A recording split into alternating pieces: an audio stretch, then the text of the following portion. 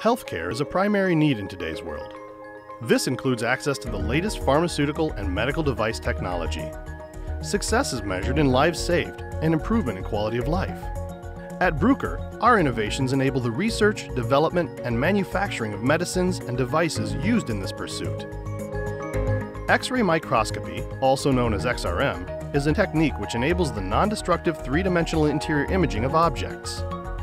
XRM combines high-resolution microcomputed tomography hardware with advanced imaging software into an easy-to-use solution. To understand how XRM has impacted the medical technology market, a few examples are in order. Pharmaceuticals are carefully formulated based not only on their chemical makeup, but also in the way in which the active ingredients will be delivered.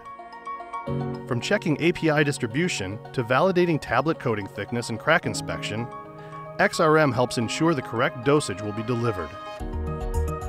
Devices for the self-administration of medications has become a hot topic. A common example is the auto-injector. Auto-injectors allow an untrained person to administer life-saving medications.